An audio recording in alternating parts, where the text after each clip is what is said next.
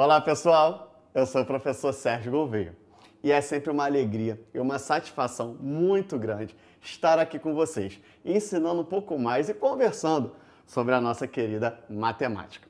Bom, na aula de hoje a gente vai conversar sobre a importância da comparação de preços de um mesmo produto em embalagens diferentes ou promoções relacionadas à quantidade, pessoal. Sabemos que a economia doméstica é de extrema importância para o orçamento familiar.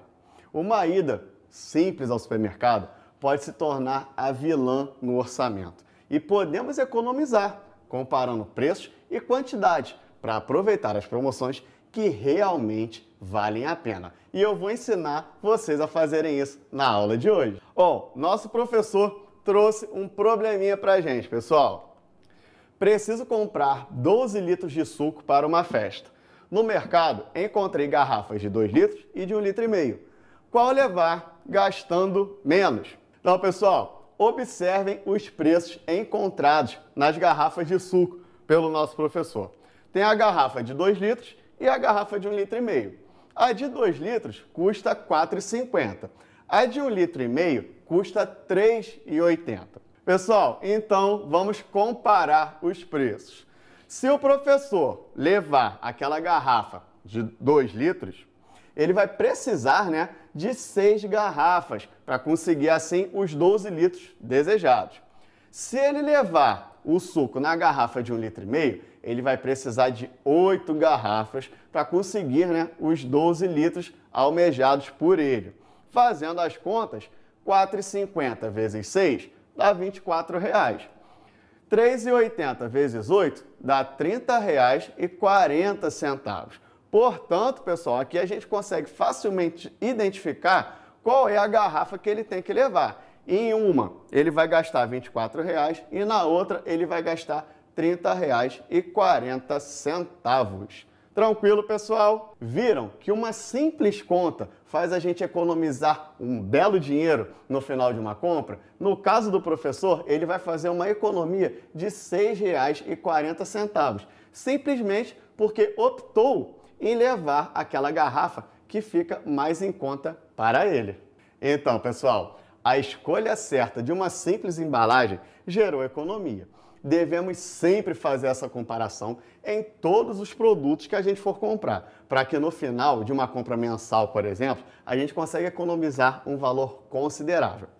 Vamos ver se a compra da embalagem maior é sempre mais vantajosa? O exemplo que o nosso professor vai trazer para a gente. Gasto, em média, 5 quilos de achocolatado por mês. Qual a embalagem vale a pena comprar? Então, as embalagens são as seguintes, pessoal. Vamos observar a quantidade e o preço, beleza? Então, eu tenho uma embalagem de 370 gramas custando R$ 6,30.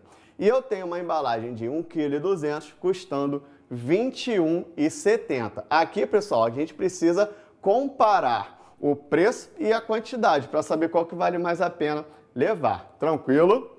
Em situações assim, a gente tem que descobrir quanto que custa cada grama, para que a gente consiga assim descobrir qual a embalagem está com um preço melhor, qual embalagem é mais vantagem levar para que a gente consiga fazer aquela economia. Então, vamos comparar os preços.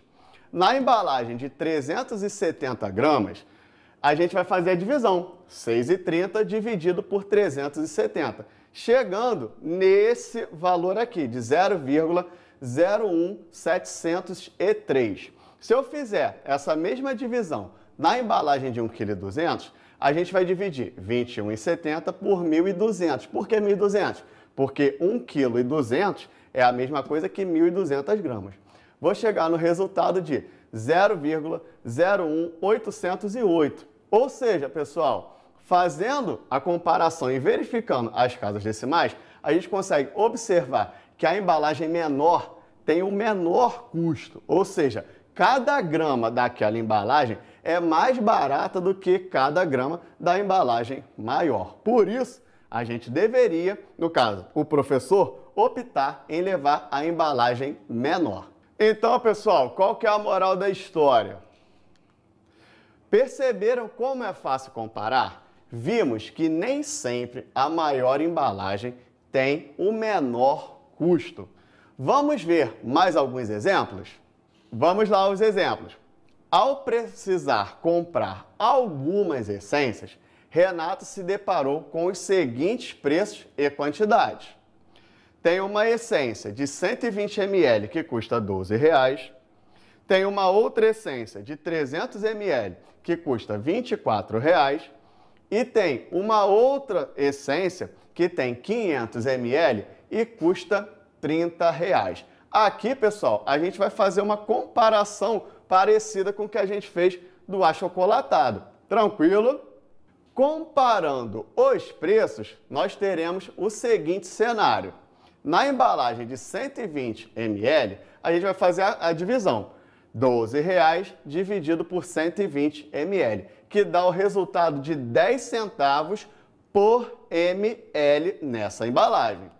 Se eu fizer essa conta na embalagem de 300 ml, eu vou ter 24 dividido por 300, que dá 8 centavos por ml. Ou seja, já fica mais em conta do que a embalagem anterior. Mas, para a gente saber qual que é a mais vantagem ainda, a gente vai fazer essa conta na embalagem de 500 ml. Fazendo 30 reais dividido por 500 ml, eu chego no valor de 6 centavos por ml. Nesse caso, pessoal, a maior embalagem é a mais vantajosa, pois é a que o ml sai mais barato. No caso aí, cada ml nessa embalagem sai a 6 centavos. Se você comparar com aquela primeira embalagem que sai a 10 centavos, é uma diferença bem grande no final das contas. Pessoal, vamos para mais um exemplo. Um supermercado vende rolos idênticos de papel higiênico e faz as promoções abaixo. Então, nós temos aqui os papéis higiênicos e as promoções são pague 5, leve 6, pague 11, leve 12, pague 14, leva 18, paga 21, leva 24, paga 31, leva 36. E aí, pessoal, qual delas é mais vantajosa? Vamos verificar. Para que a gente descubra qual é a promoção mais vantajosa, a gente vai criar frações. Ou seja, na primeira promoção, em que a gente paga 5 e leva 6, a gente vai montar a fração 5 sextos. E assim sucessivamente. O numerador é a quantidade que a gente vai pagar e no denominador é a quantidade que a gente vai levar efetivamente. Então, 11 12 avos, 14 18 avos, 21, 24 avos e 31, 36 avos. Para que a gente consiga descobrir a promoção mais vantajosa, a gente vai ter que fazer com que essas frações elas sejam equivalentes. E para isso, a gente vai usar o MMC, que é o mínimo múltiplo comum. Então, o MMC entre 6, 12, 18, 24 e 36, a gente vai fazer aqui rapidinho para vocês verem. Então, começo dividido por 2, chegando naqueles resultados: 3, 6, 9, 12 e 18. Divido por 2 novamente, chego nos resultados: 3, 3, 9, 6 e 9. Lembrando, pessoal, que eu só posso fazer a divisão quando essa divisão tiver resto zero. Se por acaso essa divisão não tiver o resto zero, eu simplesmente repito o número.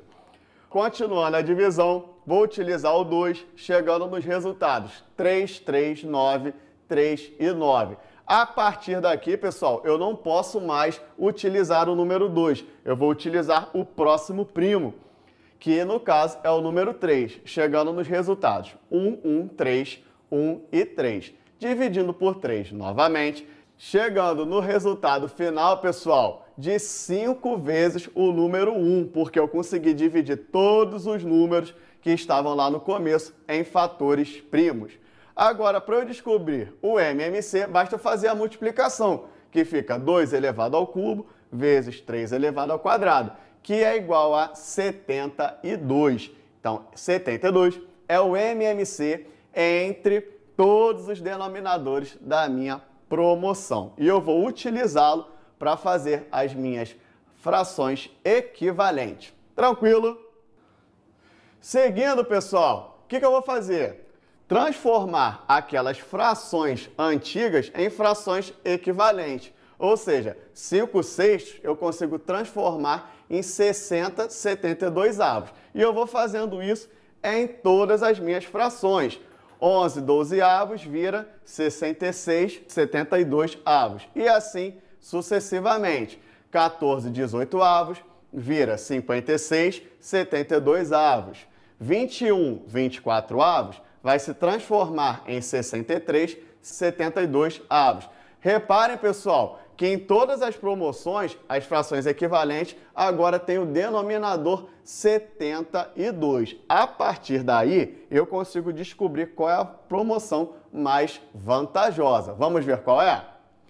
Já que está todo mundo com fração equivalente, que os denominadores são iguais, a gente consegue descobrir a promoção mais vantajosa.